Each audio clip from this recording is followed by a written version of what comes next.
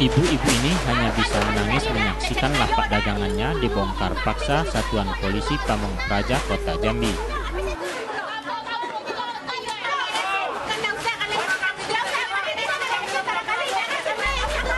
Para PKL berusaha menghadang alat berat yang diturunkan petugas ke lokasi untuk membongkar lapak PKL. Namun usaha penghadangan tersebut sia-sia. Dengan sekejap, lapak para PKL rata dengan tanah.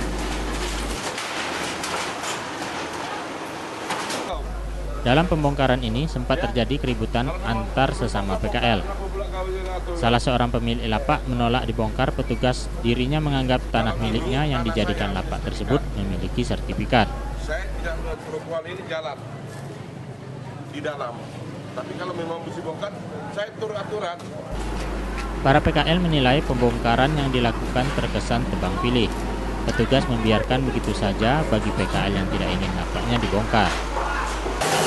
Ada solusi tidak dari pemerintah? Dari Kalau solusi saya yang namanya tadi PKL tadi itu, itu harus lagi Ah, masuk lagi oh, dari pemerintah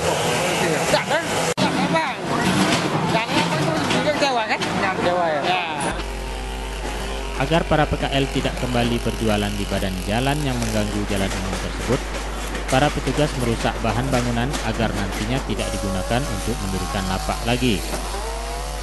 Petugas dengan menggunakan mesin pemotong langsung memotong bahan bangunan para PKL.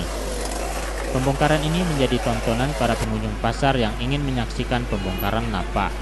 Memang kita juga ada keterbatasan personel berdasarkan peralatan, jadi memang kita secara bertahap, bukan pilih kasih, semua akan kita tertibkan. Ya. Belum ada surat dah bang. Oh sudah, semua peralatan sudah kita lalui, sudah peringatan 1, 2, dan 3. Kita berikan waktu untuk bongkar sendiri, ya. Ternyata mereka juga tidak bongkar sendiri. Ya, ini kita akan fungsikan ini sebagai jalan utama ya, karena jalan-jalan kota kita kan sudah macet. Sedangkan ini mereka berjualan di badan jalan. Kota untuk melakukan relokasi nggak ada. Uh, relokasi nanti ada dari pihak kecamatan mengatur itu ya, di mana tempat-tempat yang dibolehkan kepada mereka untuk melakukan uh, jualan. Rencananya lokasi akan dialih fungsikan sebagai jalan utama kendaraan dan untuk menghindari kemacetan terutama di kawasan Pasar Jambi. Dari Kota Jambi, Adrianus Susandra melaporkan.